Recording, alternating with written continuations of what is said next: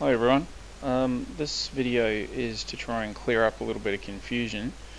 Um, I released this video a couple of days ago now. Uh, on the forum we were talking about transformers and how to uh, calculate transformers and it came up that Floyd Sweet was an expert.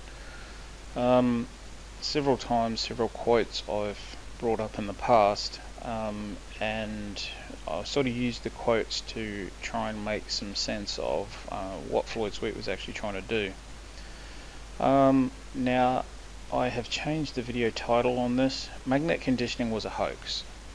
Anyone that believes that magnet conditioning can be done, then I'm fine with that. But uh, what I'm trying to say is in all my work, in all the work that I've done, magnet conditioning was a hoax.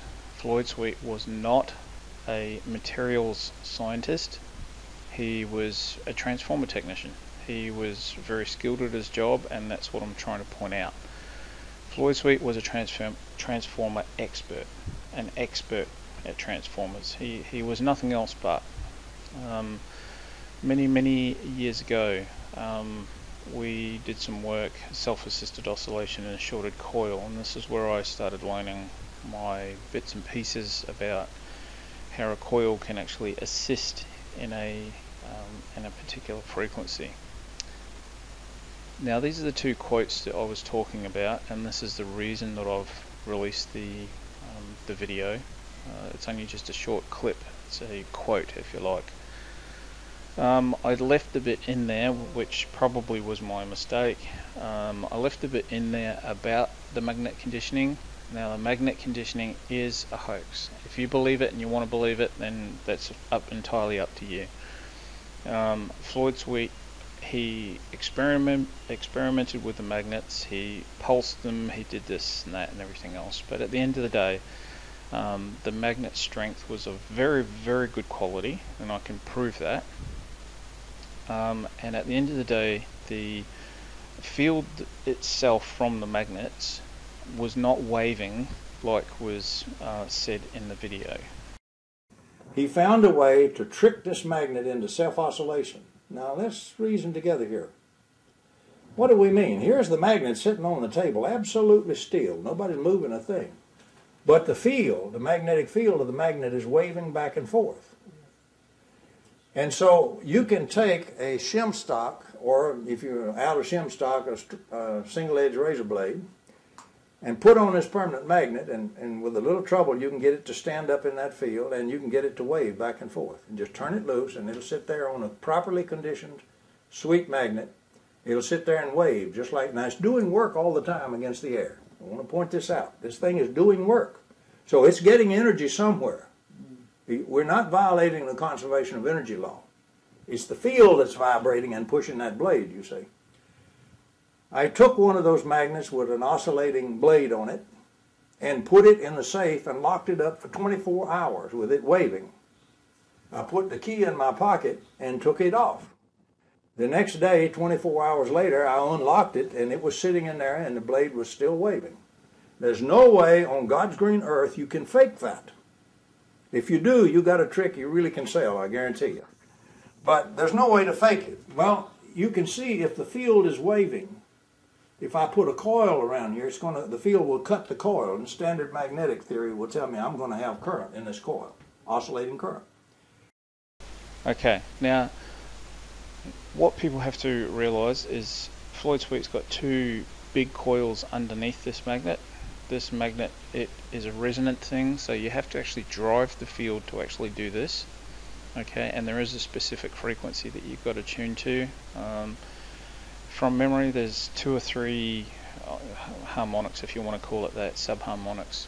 Uh, there's about 13 hertz about 24 hertz. I've been through this all on my website. Now I, I, this is a warning to everybody.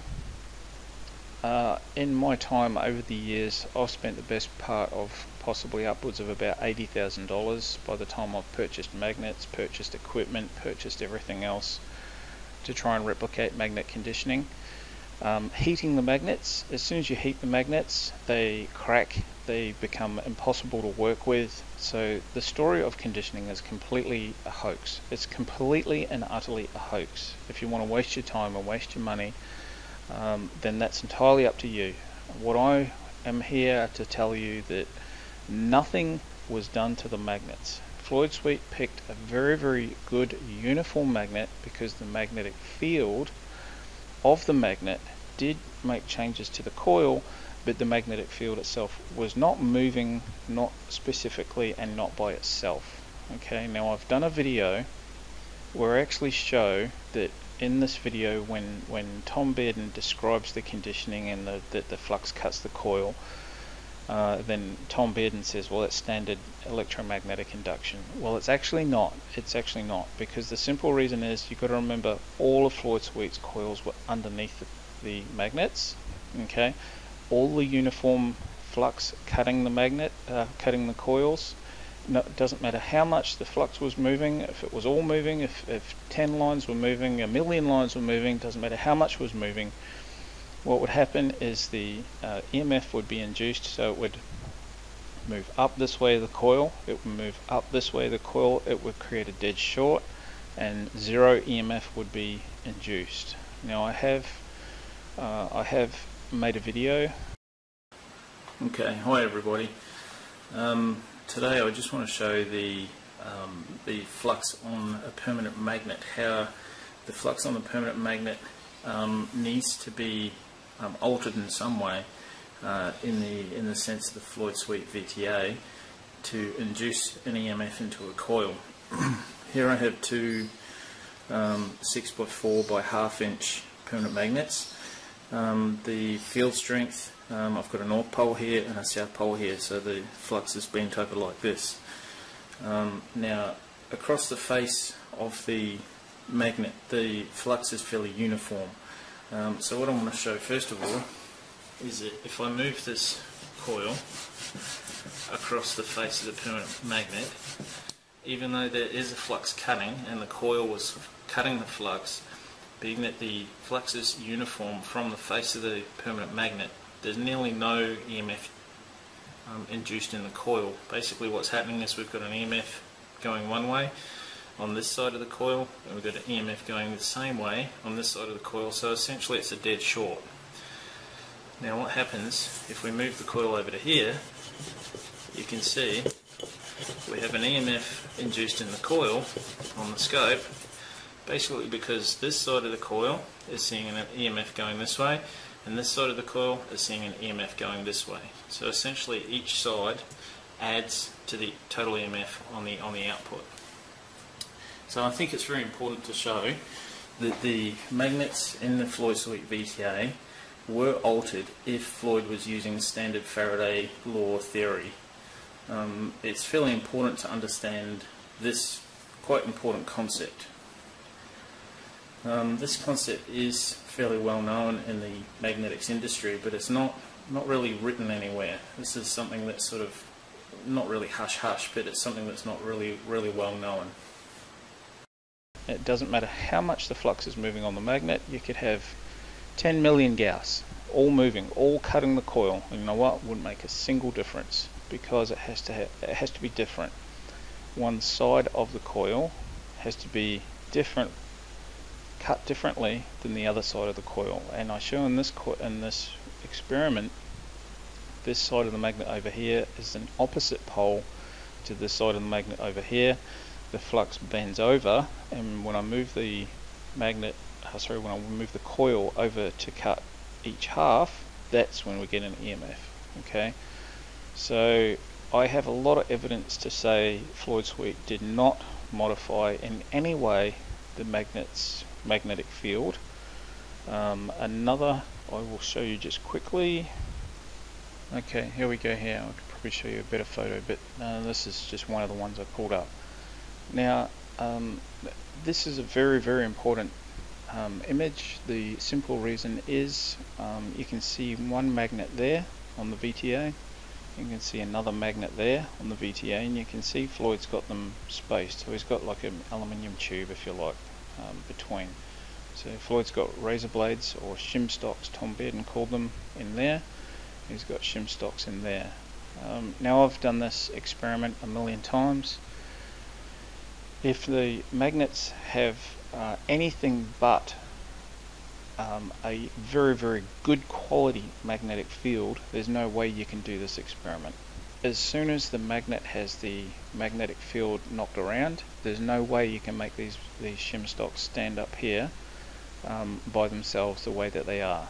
Okay, you need a really, really, really good quality magnetic field to be able to make these shim stocks stand by themselves up here.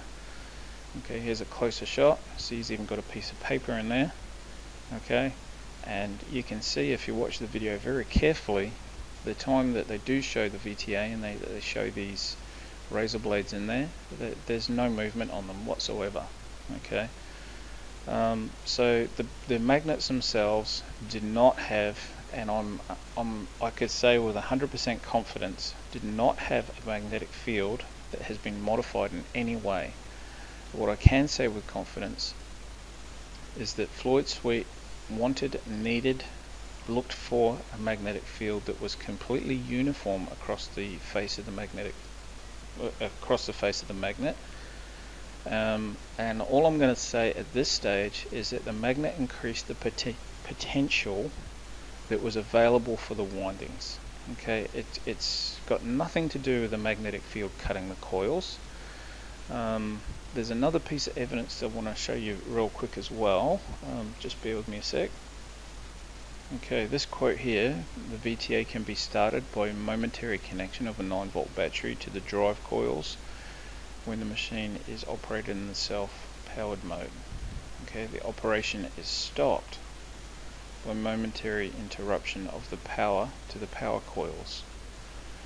Okay, now logic would tell any normal person that if the magnetic field from the magnets was the primary cause of the output on the VTA and that the magnetic field because it was waving was the was the reason or the source for the output there's no way the VTA could be started or stopped in such a way okay? The magnets uh, waving across the coils would either induce an EMF or not induce an EMF and nothing to do with the um, nothing to do with the uh, connection and uh, switching on of an oscillator would make any difference. Now I should note as well, John Bedini has also admitted, okay, this video is on my website, uh, on my YouTube channel if you want to go and have a look. John Bedini's admitted that magnet conditioning was a hoax. So in in a couple of sessions when I ended up over at uh, Floyd's house. He had a very strange setup. He had uh, a round tube.